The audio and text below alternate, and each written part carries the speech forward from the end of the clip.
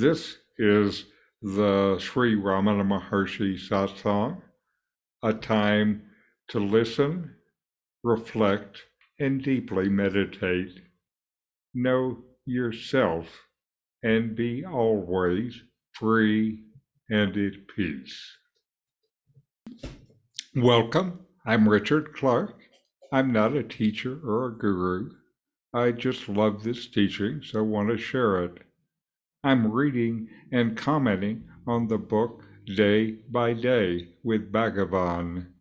This week is from March 19th, 1945. A visitor from Sindh, very probably Kundanal, a Mahatma of Hyderabad, Sindh, now Pakistan, asks, It is said that the world and the objects that we see are all unreal, like the snake and the rope. It is also stated in other places that the seer and the seen are the same. If the seer and seen are the same, then how can we say that the seen is unreal? Bhagavan. All that is meant is that the seen, regarded as an independent entity independent of the self, is unreal. The seen is not different from the seer. What exists is the one self, not a seer and a seen. The seen, regarded as the self, is real.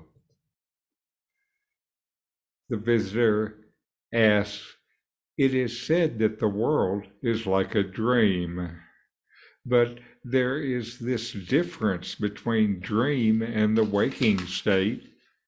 In dream, I see my friends or relations and go through some experiences with them.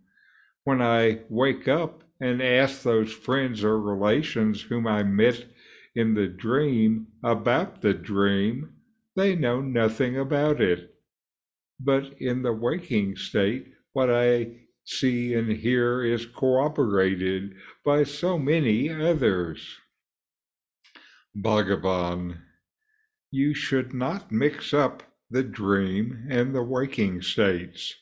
Just as you seek corroboration about the waking state experiences from those you see in the waking state, you must ask for corroboration about the dream experiences from those whom you saw in the dream state, that is, when you were in the dream.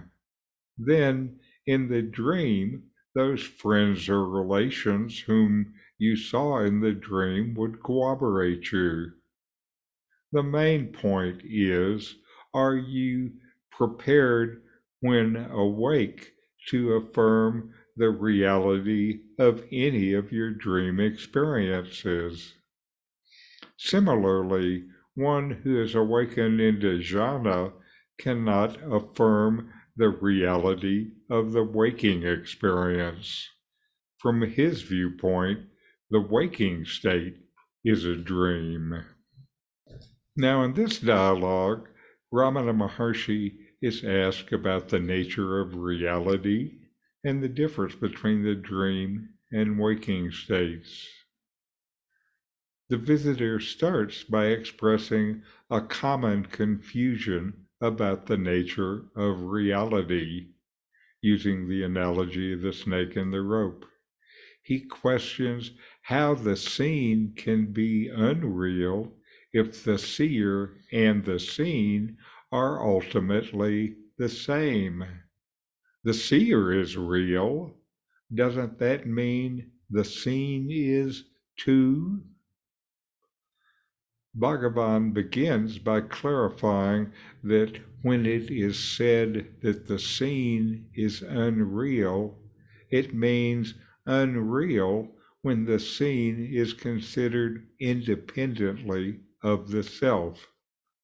In the ultimate reality, there's no distinction between the seer and the seen. There is only the one self, no difference. The unreality lies in perceiving the seen as an independent entity separate from the self. The visitor then asks about the concept of the world being like a dream and raises questions about the difference between dream and waking states. In dreams, personal experiences are not cooperated by others on waking, while waking experiences are shared and validated by many. Ramana addresses this by saying not to mix up the dream and waking states. He suggests seeking cooperation for dream experiences from those seen in the dream itself, just as you seek validation for waking experiences from those you see in the waking state. So ask another dream character if the dream is real. The crucial point is that for the self realized, the waking state is akin to a dream. In this state of true knowledge, the distinctions between dream and waking blur, and the waking state is perceived as illusory. For both states, the content is known. Who is the knower? Is this knower a character in either the waking state or in the dream? Bhagavan stresses the fundamental oneness of the seer and the seen, saying that what exists is the one self only. Any perception of separateness is considered unreal. The seen, when recognized as the self, is real. This challenges the conventional understanding of reality based on independent external entities. Ramana draws a parallel between dream and waking state, saying that the self realized regard the waking state as dreamlike. Why is waking like a dream? For both, the content is entirely in the mind, and we are the unchanging consciousness existence that knows the mind. This challenges the usual understanding of the solidity and reality of waking state experiences. These teachings encourage us to question our perception, to reflect on and contemplate the nature of reality, and deepen our understanding of the interconnectedness of the seer and the seen. The emphasis is on the unity of the self. This serves as a foundation for exploring the teachings of Ramana Maharshi in a practical and experiential manner. So inquire, know yourself, and be always free and at peace. And now a talk from Nomi, Reality of the Self.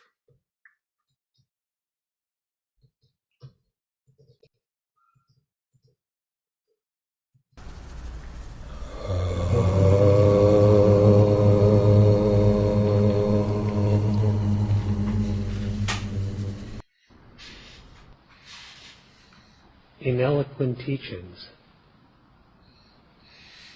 of the most sublime nature. Sri Bhagavan has revealed the reality of the self. To adhere to those teachings, to follow them, to put them into practice, is actually to become them. For the instructions, when properly comprehended, all revolve around this solitary existence of the nature of being, consciousness, bliss. What are you to do? Know the nature of you. That which is to be revealed is really never hidden. For existence cannot be hidden from itself. And there is not another from which it can be hidden. You exist. You are. Realize that you. Know that you are. Know that the nature of that being. That being is not a thing, not embodied, not conceivable, free from individuality. If this quintessential knowledge is realized, then you know what is to be known.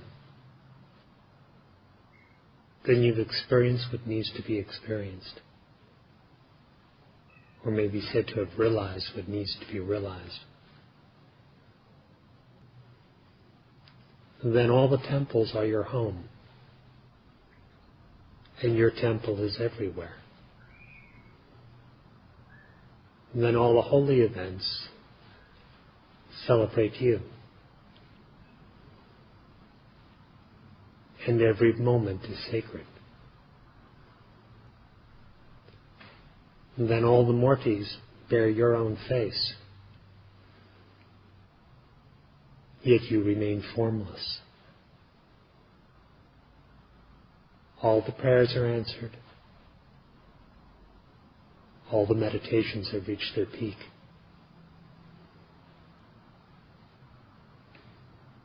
And the perfect fullness, which is your own nature, shines always.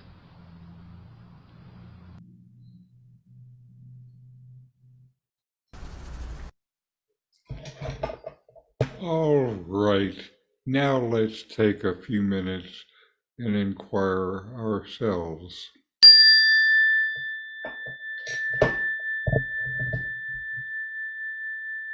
Notice that you exist, and you know that you exist. And now inquire, investigate within yourself. What is the distinction between the seen and the seer?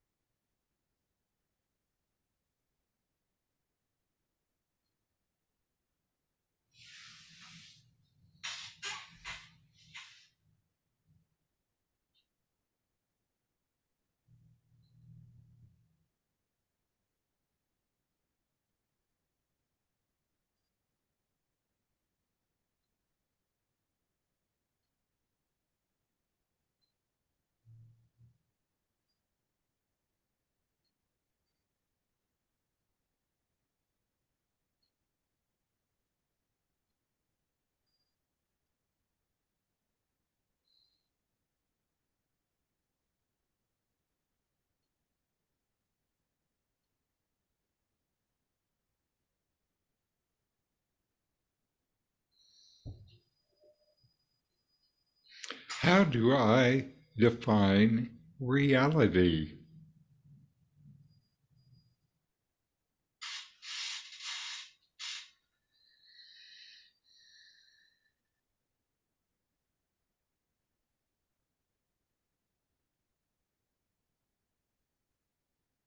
How do I know what is real?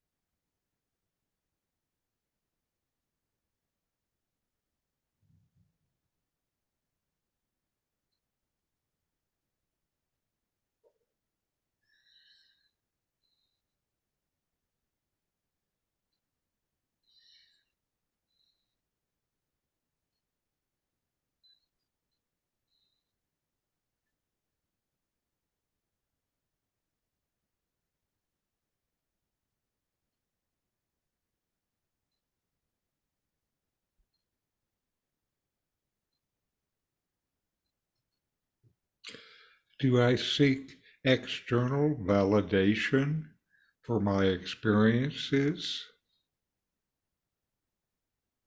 or reality?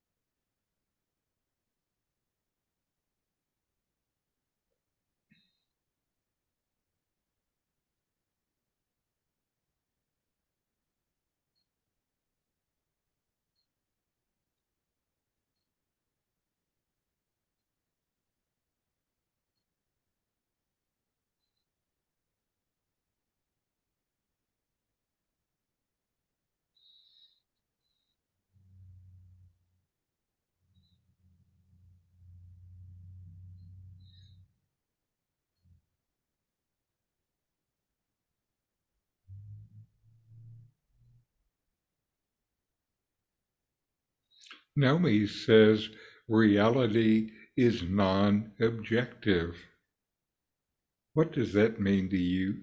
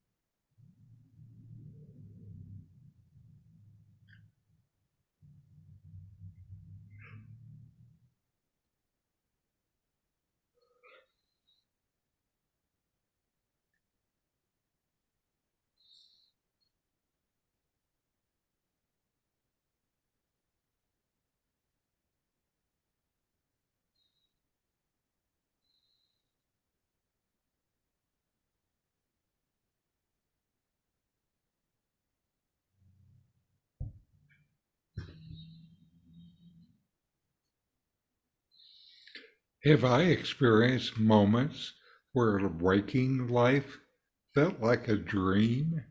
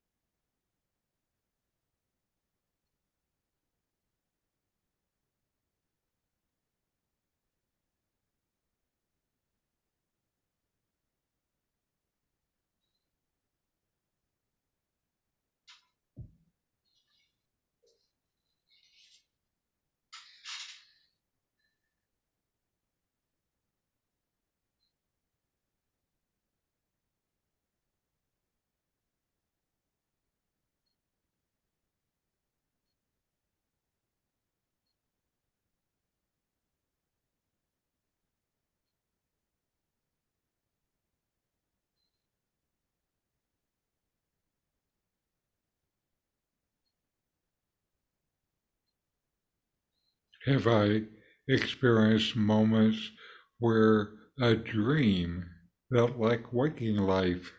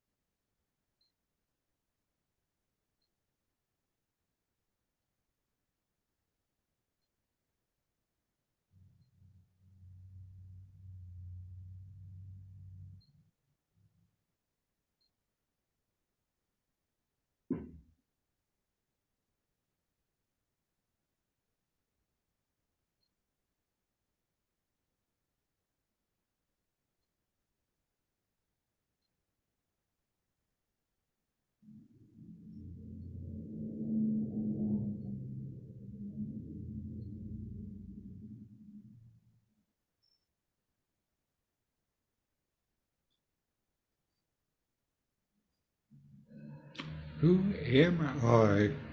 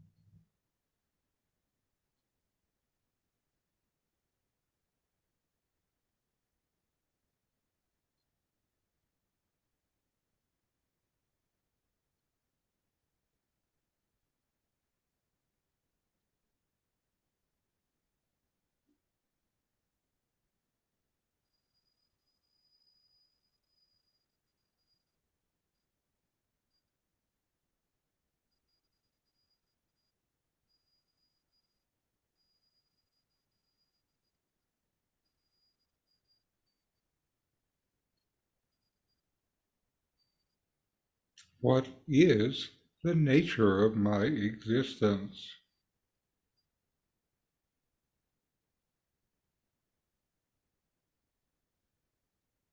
Am I a body, a mind, a thinker?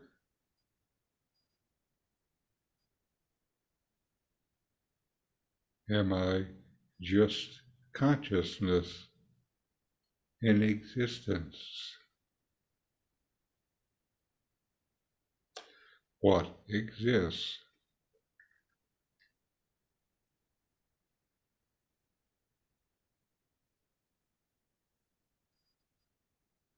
What is always.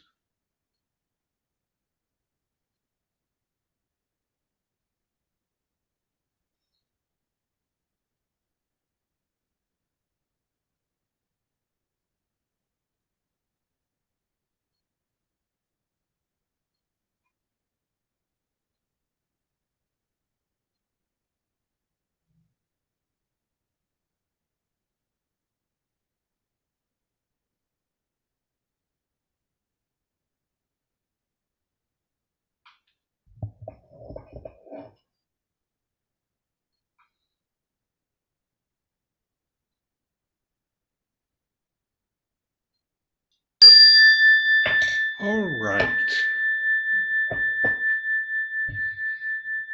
And let's close with a chant. Om.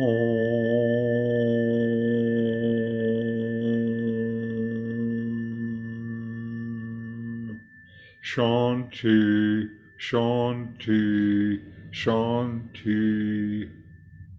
Om. Peace, peace, peace.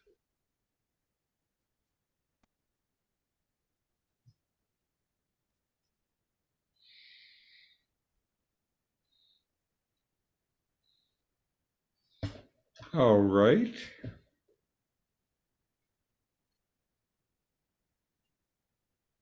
So what's real anyway?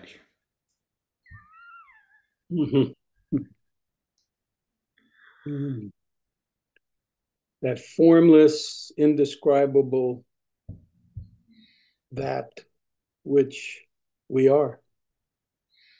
That Mhm. changeless, no beginning, no end.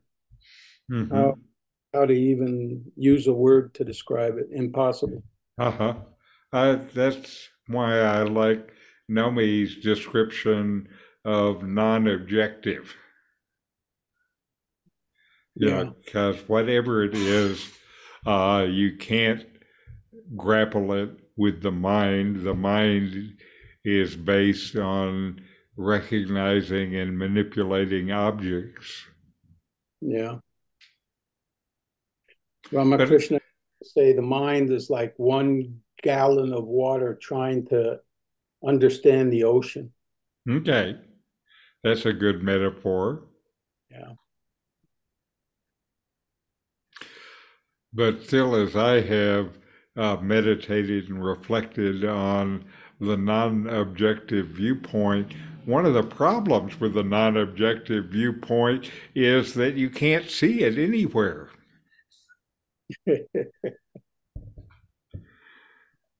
You know, it's like trying to find consciousness. Consciousness is everything, but when I look amongst the everything, it's hard to see it anywhere.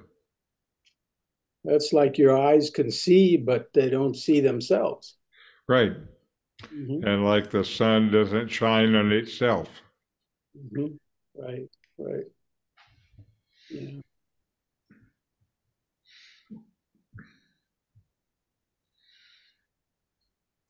Anyway, good to be with you. Good to uh, join together, shining a little light on Ramana's words.